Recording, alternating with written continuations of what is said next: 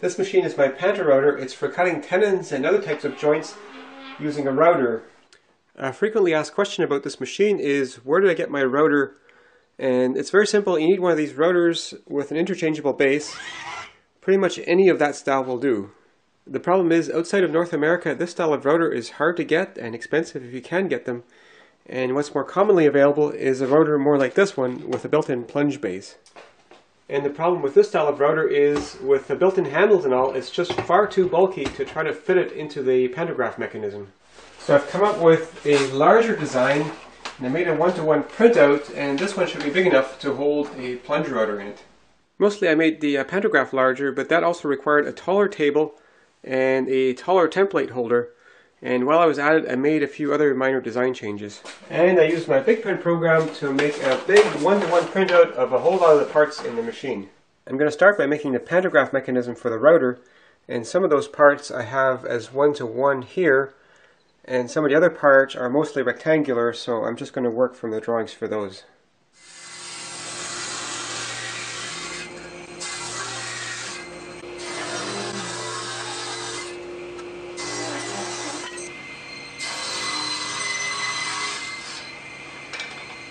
The links are going to pivot on some steel rod like this and I need to make sure I get the uh, position for the holes exactly right. It's really important to get a fairly tight fit with the steel rod so I drilled some test holes and this one has actually got a little bit of play on it. It slides too easily and I drilled that one with a 3 16 inch brad point bit um, but I do want to drill them with a brad point bit initially because these drill more precisely. They don't follow the grain so much. So what I've come up with is to use a slightly smaller bit. This is 1 64th down. Drill the pilot hole and then use a 3 16th inch uh, regular non-brad point bit to kind of ream that out to the final size. And that makes for a fit that is quite tight.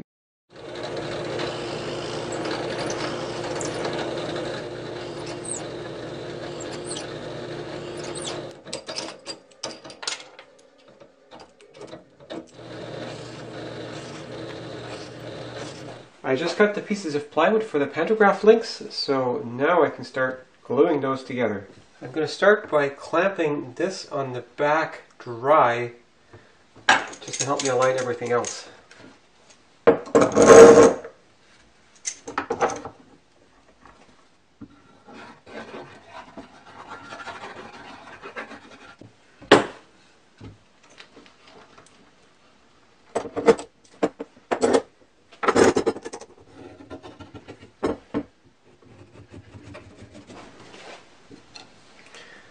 Now this should come out flush right here. Now I'm going to take the back rail off again. And I'm using the same procedure to glue the short link as well.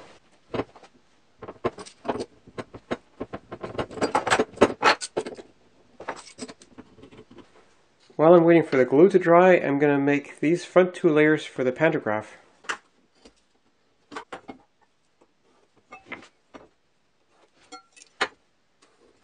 Have the cutout in this part dimensioned here, but you're better off actually making sure that this matches the base of your router, and that will make it much easier to position the router precisely.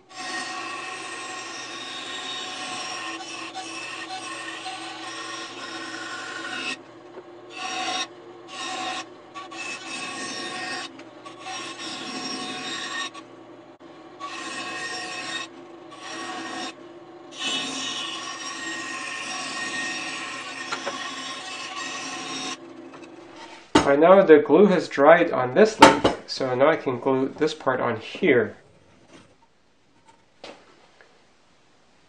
And what's really important is that these two are exactly the same distance from the end.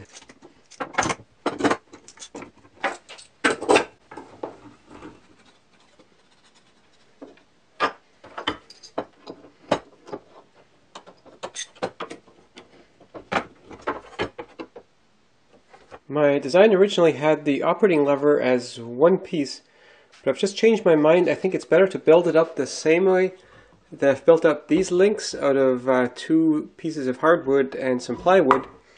So I've already started making this one and just like I made these ones, I glued these parts on there and now I just have to make sure this lines up precisely as I glue it.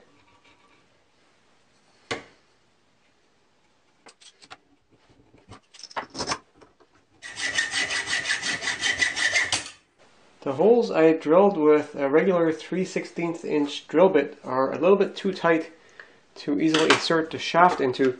So I made a reamer out of another piece of shaft by cutting a slot along here with a hacksaw. And with that, I can clear out the holes a little bit so that this goes in there without any play, but still slides.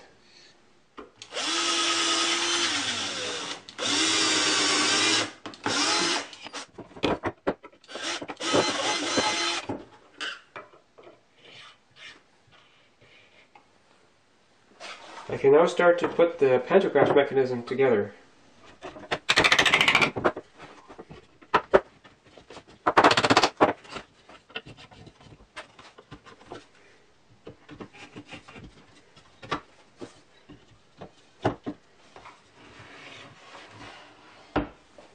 So depending on what type of router, it may fit in here perfectly well with the handles or for this one, for example, there is a bit of a problem in that the handles are just a bit too large. And let's see, the router goes in here, but as I tilt, the handles start to hit uh, this part here. And even if I flip this around and put it in the other way around, I still start hitting the handle here. So I could either try to cut away some of the handles cut away part of the links here. So I could have made the pantograph bigger to fit any router, but it's pretty large as it is. Playing around with this some more, I'm realizing this is actually right now tilted at 45 degrees, but uh, I really only need to go to 60 degrees to get the right range of motion. And just checking that angle here, that's tilted just a bit more than 60 degrees. And at that angle, if I put this router in here, I actually still have room for the handles. So it's not as bad as I thought it would be. Here I'm cutting out the uh, base for the pantograph and that has two corners cut out of it which I am cutting on the table saw and then finishing cuts on the bandsaw. The blocks that the pantograph pivots on needs to have holes in it that are exactly perpendicular and I figure by rotating every increment of drilling, that should compensate for errors in the drill press. Despite all precautions, when I drilled the hole in this thing and I put it on here, I noticed that this was at a slight angle. You notice there's a gap here and none here. And if I flip it around, the gap is here and not here. So the hole is crooked in this part here. So I drilled another hole and this one was also crooked and I drilled another one and it was also crooked. And then finally I drilled this one and this one is nice and perpendicular like it's supposed to be. I have to be very careful that the center line of the holes lines up with the center of this thing and all three blocks will be aligned here. And now to get the screw hole locations, I just put the screws in here and whack them.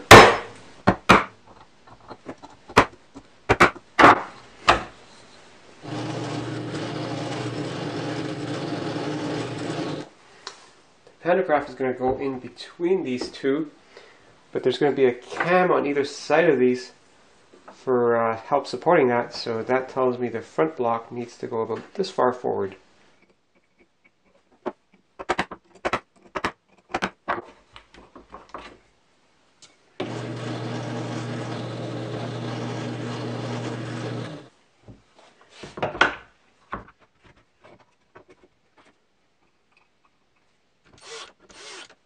Until I make the cams for here, I'm just going to use some scraps of wood to keep that pantograph from sliding back and forth. For this pantograph router for now, I'm going to use this old router which has a uh, broken on-off switch uh, since I have to switch it externally anyways. And for mounting that, the way I've figured is to mount that to a piece of plywood that goes on here. So it's mounted the way people typically mount them, but I lose a little bit of depth of cut that way. I want the chuck to be forward as far as possible. So I've got some shafts here that fit into the router base and I'm going to mount it to those and that way I can bring that base forward as far as I can.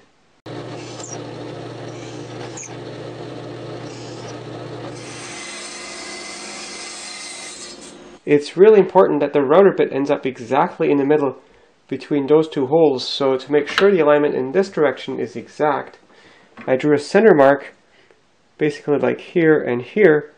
And that just needs to go on the center line. And let's make sure this is also square. So it can go right here.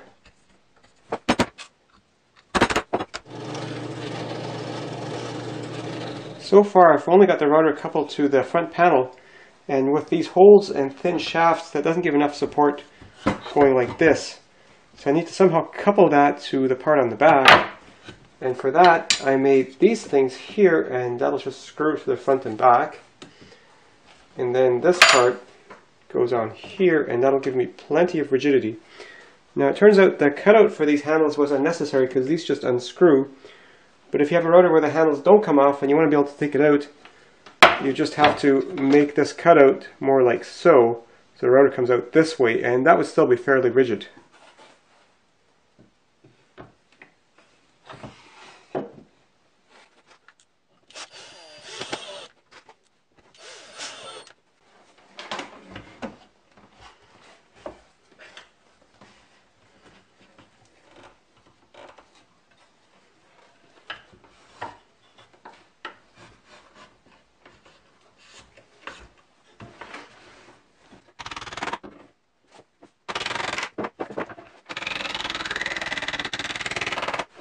It turns out I put these things too close to the edge and so my range of motion is restricted by hitting those.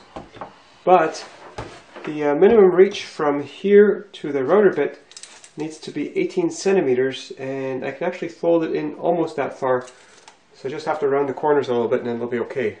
So this Pantorouter is far from done. I still need a stock holding table, template holder and plunge sled, but uh, I've rigged it up to try it out Here's my temporary stock holding table, the template holder, just some boxes, and no plunge function, so I just have to cut full depth in one go.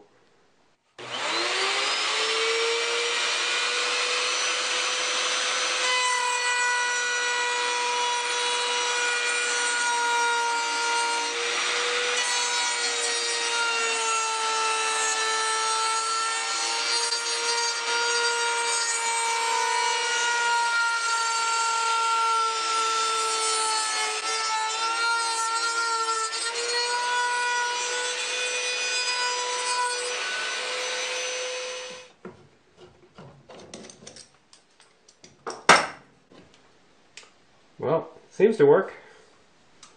Well, I think this video is going to be long enough as it is already, so I'll finish this machine in my next video, or two, or three, or whatever it takes until it's done.